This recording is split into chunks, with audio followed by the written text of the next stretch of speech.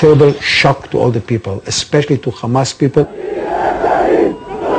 If you are going to kill the Palestinian civilian, you have to expect that you are going to drink from the same poison. An American Jew had given Hamas its motivation to strike at the heart of Israel. After that massacre, it is allowed for everybody to attack any Israeli citizen or military. Jihad is waged, and now all of Israel is fair game. Yahya Ayyash prepares to heed the call. With scores of young zealots ready to volunteer for martyrdom, Ayyash has developed a series of sophisticated and deadly suicide bombs.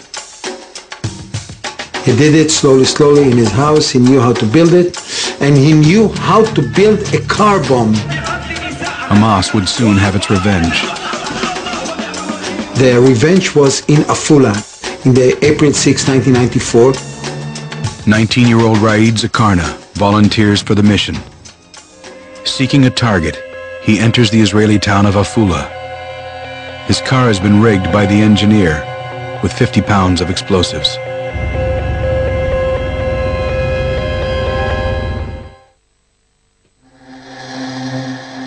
April 6, 1994.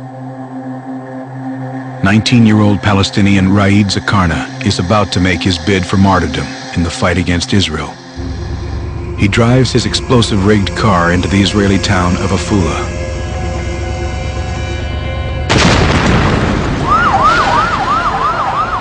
Zakarna had detonated himself next to a bus full of passengers, killing nine. A group called the Izzadin al-Qassam Brigade takes responsibility for the suicide bombing.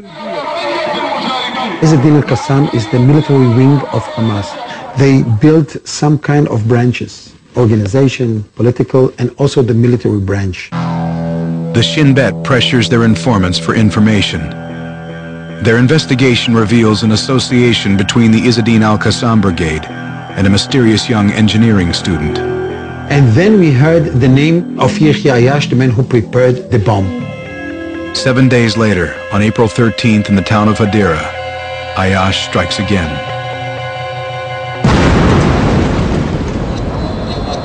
A suicide bomber with a bag of explosives detonates himself inside a city bus.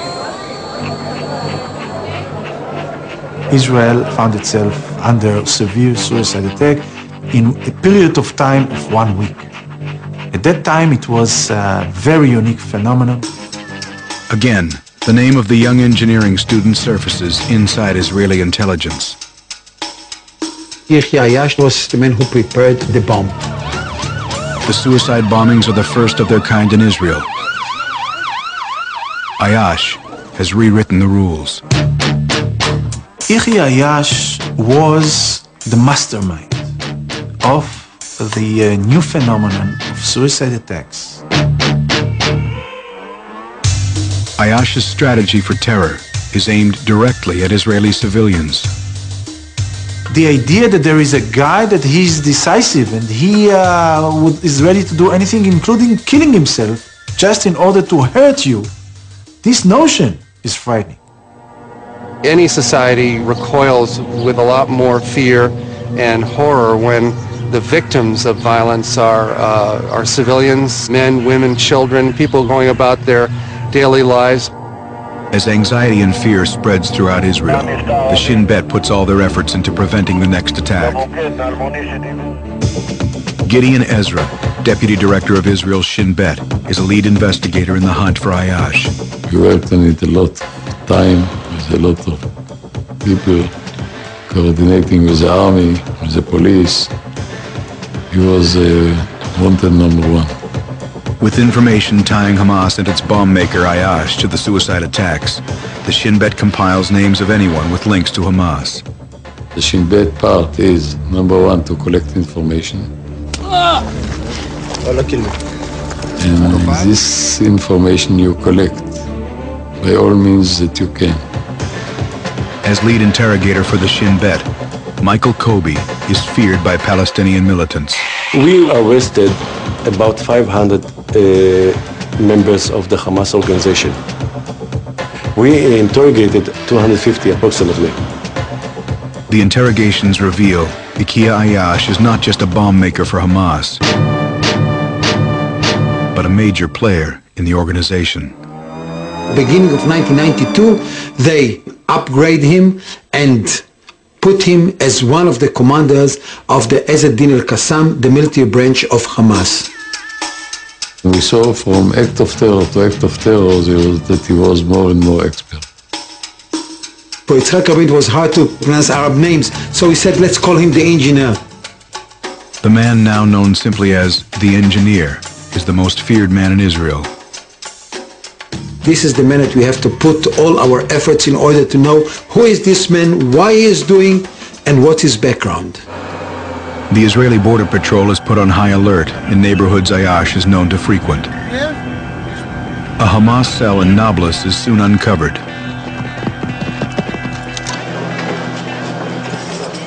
With information extracted from arrested cell members, the Israeli security forces begin to close in. He was located in one of the places in the old city of Nablus, in the market, very close to uh, the middle of the city. Israeli forces immediately launch a raid in the old city. And we were very close to him. It's a very um, tiny area and um, he escaped into the people.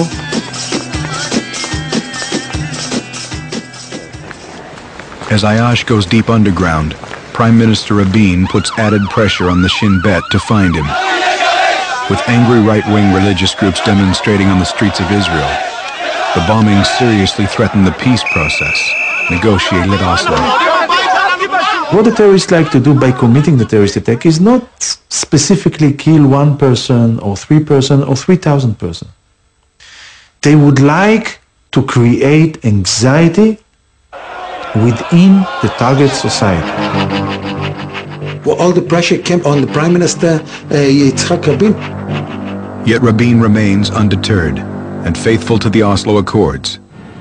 On May 18th, Rabin completes the withdrawal of Israeli troops from Gaza. On July 1st, 1994, Chairman Yasser Arafat arrives in Gaza, victorious.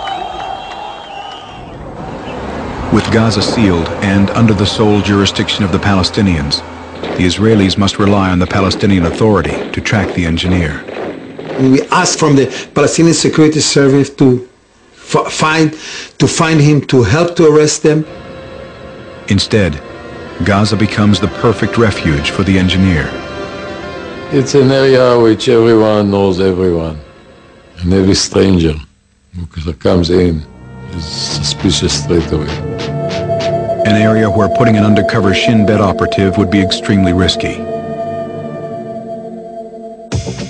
The Shin Bet shares their intelligence information with Rashid Abu Shabak from the Palestinian Authority in the hopes that their counterparts will cooperate in the hunt for the engineer. Rashid Abu Shabak is now at the head of the intelligence of the Palestinian Authority in Gaza Strip. Of course, it's not a secret that he is wanted to the Israeli intelligence. We are a newly established authority and for the first time the Palestinian people welcome the Palestinian Authority to govern them. Arresting Hamas is a priority for the Shin Bet, but not for the Palestinian Authority. We did not want to give the Palestinian people the impression that we are only here to arrest members of the Hamas. With no cooperation from the Palestinian Authority in the hunt for the engineer, Israelis brace themselves